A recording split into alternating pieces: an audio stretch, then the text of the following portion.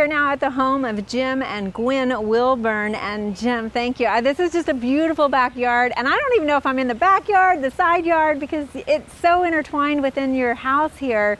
It must be great for entertaining. it, it's a great place for entertaining. We've had a lot of parties here. We've had weddings back here. We've had weddings in the front. Oh, I bet. Uh, I bet. And we have a wedding coming up May 28th. My daughter's getting married here. So. Oh, fabulous. Well, it looks just perfect, but I know it's about to change too. I mean, we're coming and we're seeing the azaleas and the violas but a lot of that's about to change. It is, and and you know it's all good. Uh, you know you wish everything could peak at the right time, but uh, Mother Nature has their own, you know, their own thoughts about it. But yeah, the uh, we're getting ready to pull out all the violas, and we're going to put in some uh, pink, pink begonias okay. with Joseph's coat, and uh, by then the the beautiful corbels are going to be gone. So me tell you, I feel like you might like color. Is that true? Love it. love love bright colors. Yeah, well, it's beautiful and only complementing your bright colored pots as well. Tell me a little bit about those. Yeah, those pots we bought, Gwen and I bought them in Italy uh, about 15 years ago in Ravello. Uh -huh. uh, we, we loved them and they're like my babies. I bring them back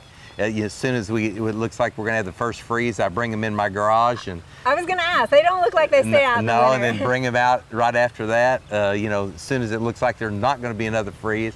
But yeah, I love those pots and they, I think they add a lot of color just like the the plants and, and, you can see how we love do love color. Well, it seems like a very relaxing space. You've got the outdoor kitchen and the pool and I mean you've got all your amenities that you would have in a house out in your yard as well. We do and even you know I, being in the office for the last two years here at home and being on those Zooms all day I have a beautiful little courtyard with the water fountain and of course Carla's rose garden and, uh -huh. and I love walking out there in the day you know after an hour on the on the Zoom call. So yeah, this, this yard is really, we're blessed to have a beautiful yard like this. Well, sometimes I know when you come to estates like this, you feel like maybe it's all done by a landscape company, but you get out here and are involved with the plant selection, right? Yeah, absolutely. I, every single plant. It's the only place where I feel like I'm boss, where my wife lets me have the say-so, and that's in my yard. So I get to, you know, I, yellow's my favorite color. She won't let me wear it, but I do get to have it here on the violas and out front and so forth. So. Well, it definitely works out here, and thank you so much. And you mentioned Carla. I think I'm gonna go try to find her. Maybe Carla's awesome. She's worked for us with us for 25 years, and she's the best. Excellent. I'm gonna go chat with her. All right. Thank Thanks, you. Casey.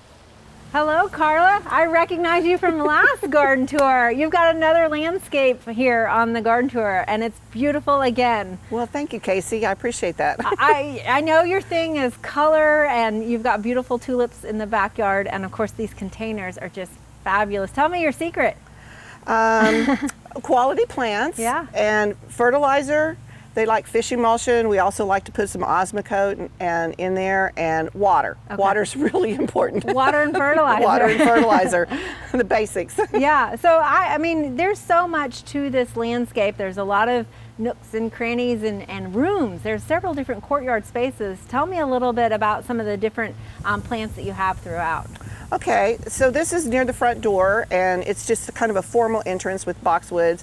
Then you go around the corner and we have a rose garden and we have lots of climbing roses and we have some poppies for the spring, more roses and a fountain. Then you go through the gate and you're in the backyard.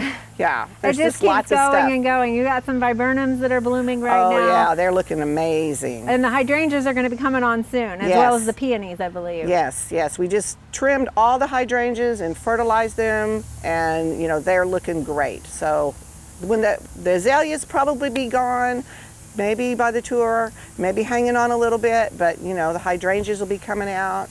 The roses should be blooming, they've got buds. So Carla, it seems like there's so much detail. How do you manage all of it and, and, and take care of it? Because there's so much entertainment that's going on here all the time as well. Right, well, um, if you just, you know, look at them, you know, weekly and pick off the dead blooms, do a little pruning maybe when stuff gets a little wild, mm -hmm. keep your fertilizer up, it's all ready to go because five o'clock and there's a time for partying over here because there's so many different areas to go to. Yeah. Yeah, you can spread out. It's a great house. Well, it's a beautiful landscape. Any favorite uh, annuals that you definitely like using that you want to share with us?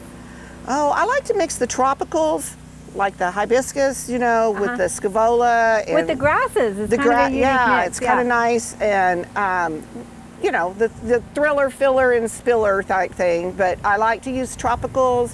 I like, um, mm, I don't know, just anything that's colorful. You know, you kind of just go and you see something at the nursery and you're going, that'll fit. You know, you kind of have it in your head what you want, but you don't know really what you want till you see it, and then you're like, perfect. So do you kind of play with it when you're at the nursery, those color combinations to figure it out? And Yes. Almost like plant uh, swatches, right? Yeah, yeah really.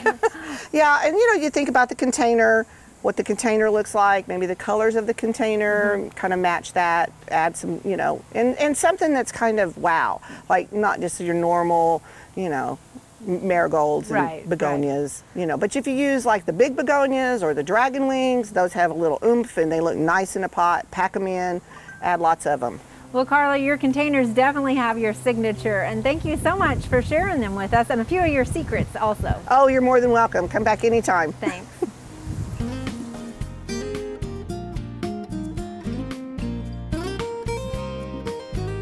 We hope you enjoyed this video as part of our Oklahoma Gardening YouTube channel.